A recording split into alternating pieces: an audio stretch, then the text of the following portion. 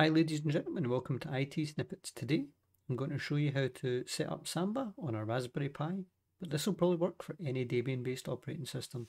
So let's get started.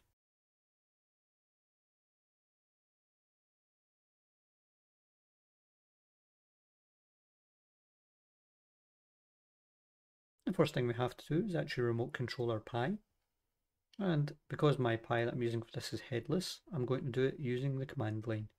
So I will connect to it using SSH. Do that, right click my start bar, go to PowerShell as admin, select yes when user account control kicks in.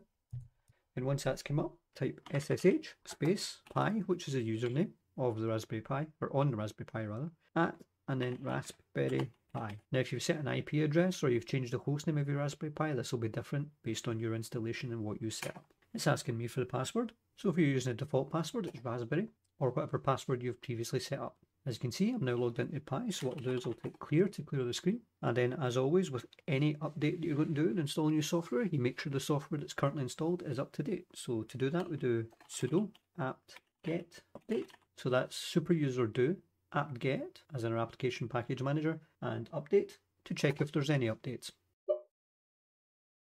Okay, now that that's done, we do sudo apt-get upgrade. So the update actually refreshes the package list to the latest to make sure you're checking for against the latest versions. And upgrade will actually upgrade anything that requires upgrading. In this case, it looks like there's an update for my Raspberry Pi EEPROM so I'm going to say yes and allow it to update that. Now that that's done, let's install Samba. So to make it easier, I will clear the screen again by typing clear. Then I'll do sudo apt get install Samba, then space Samba dash common dash bin. So I want to install the Samba server and I want to install the Samba common binaries. I hit return on that, hopefully it should find those packages which it has, and it's asked me if I want to install them. It's going to take an extra 101 meg of disk space, but I'm okay with that, so I'm going to press Y, and we'll wait for that to install. Okay, so it's come up with some text on the screen. that says, Samba server and utilities. If your computer gets an IP information from a DHCP server in the network, the DHCP server may also provide information about WINS services, NetBIOS name servers, present on your network. This requires a change to your samba.config file so that the DHCP provided WINS settings will automatically be read from var lib samba dhcp.conf. The DHCP-client package must be installed to take advantage of this feature. Do you wish to modify smb.conf to use WINS settings from your DHCP? I'm going to say yes, although I believe I've actually set these up manually anyway in a previous tutorial, so Hopefully that won't hurt us.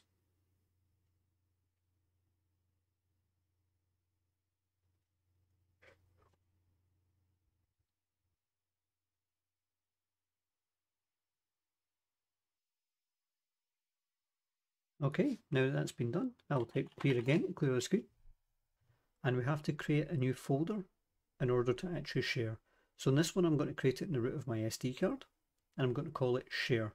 I'm going to set the permissions and I would recommend that you set them differently later on but I'm going to do a separate tutorial on securing Raspberry Pis but I'm going to set it to 777 which means that it will be full read write and execute for everyone and I'm also going to set the sticky bit to 1 which will stop it from being deleted. So in order to do that you do sudo mkdir space dash m space 1777 space slash share. So that's super user do space mkdir makedir space dash m space 1777 so that's the one sticky bit I was telling you about 777 for full read write execute for everyone and space then the folder slash share if I hit return that should now create a folder in my root directory called share which as you can see it does and that folder will currently be empty so this is going to be the folder it's going to be made available on our network that we'll have read write and execute access to so like most things in Linux, it's not quite as straightforward as just installing the application and creating a folder. We'll have to point the Samba config file to that. So in order to do this, you do sudo space and then nano, which is a text editor, and then slash etc slash samba slash smb dot conf. If I hit return, this will open up my Samba configuration file.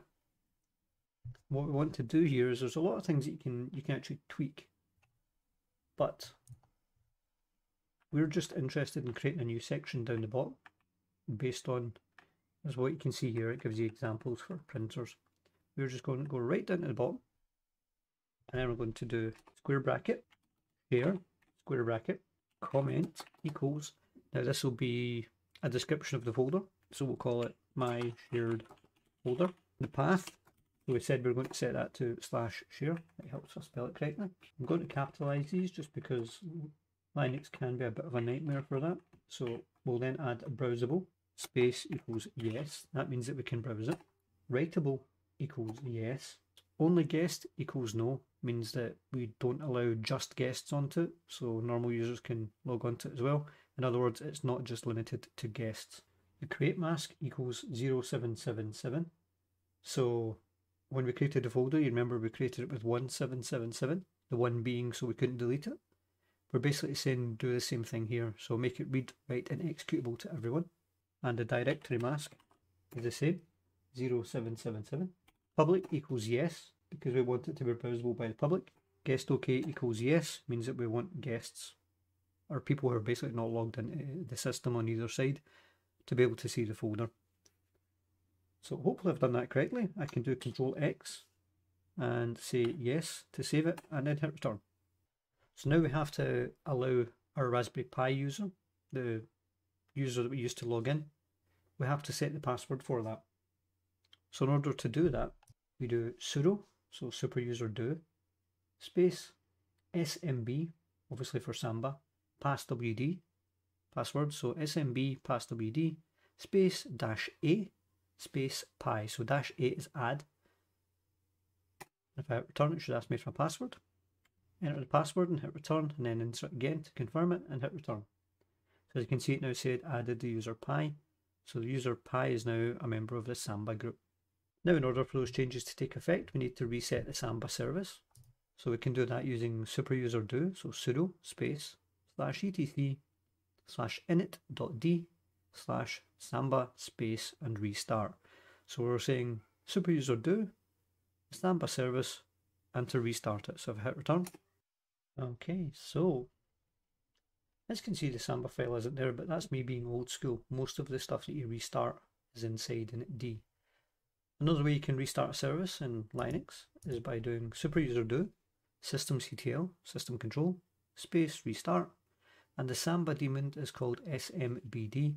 And as you can see, smbd is there, so it's just been renamed slightly in the newer versions of Debian. So if I hit return, that should restart it. And if I actually go up and do this and change that to sm BD. That may actually work. Which it does. Okay, so I just had the command slightly wrong there because they've changed its name from previous versions. Now that Samba has been restarted, just to be in the safe side, I'm going to restart the Pi by typing reboot. And we'll give it a moment to reboot. Oh, sorry, I need to do sudo reboot. I'll give it a moment to reboot, and then we shall see if we can find it on our network. Okay, hopefully that's enough time has passed that we'll be able to reconnect our Pi. So I will CLS to clear the screen and then I'll try connecting again using SSH Pi at Raspberry Pi. I will enter my password. So let's see if we can find the Raspberry Pi in our network. You should be able to do slash slash Raspberry Pi slash and there we go, there's a shared folder. I'll double click it I can see there's nothing inside it. If I do a right click and do new, select text document, I'll call it boo.txt. I go back in here and I change to the root directory, change to the shared folder, and I do ls, we should now have boo.txt. And if I do nano boo.txt, I'll enter hello, I'll do control X and Y and then hit return. Now if I go back in here and I open boo.txt, you can see it says hello. If you liked this video, give it a like. If you disliked this video, give it a dislike too. If you get feedback on this or any other videos or suggestions for videos you believe we should do in the future, then please let us know in the comments below. And most of all, thank you for watching.